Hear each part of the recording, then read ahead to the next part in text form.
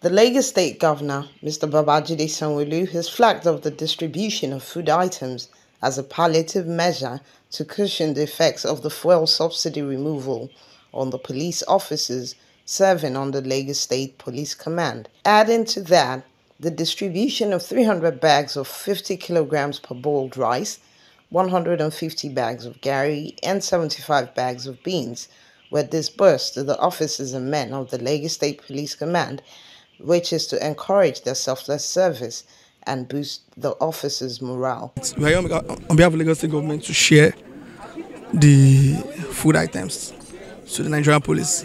Yeah, we did not choose only Nigerian police.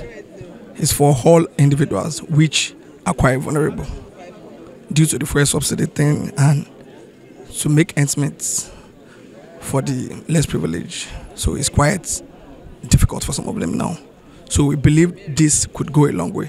We're not stopping here. After now, we're going to fire service, the artisan, the the CDAs, CDS and all.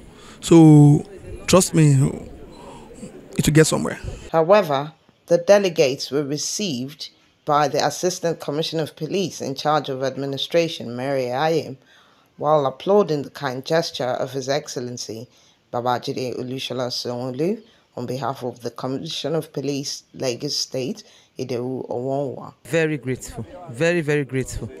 Because it's not been easy pulling through this time, this subsidy removal and all that. It's been biting hard on all of us. And the men have to go the extra mile to sacrifice to make sure that they perform their constitutional duties. I'll give you an example. An officer that leaves the house to work, they're supposed to go back home to rest, cannot go back home because the transport will tell on his pay. So what he does is to stay in the office, sleep where there's no comfort, so that he can work throughout the week and save that money. Still so that he can meet up his mandate to protect Lagosians. So they've been giving, doing a lot of sacrifices, and this one will go a long way. It will go a long way. At least the money they're supposed to use to buy food, they'll be able to use it now to augment that that transport. inú wa dùn láti gbọ́ngbà tá a rí ní alẹ́ àná inú wa dùn gangan I was very happy so a dẹ̀ dúpẹ́ lọ́wọ́ ìjọba ọ̀gbẹ́ni Sanwó-Olú The representative of the Lagos State Governor also emphasized that the distribution of the food items will go to vulnerable households will be done through groups, institutions, non-governmental organizations, community development committees, and people living with a disability, regardless of their status. In Lagos, Jennifer Mosu reporting for NewsBusta TV.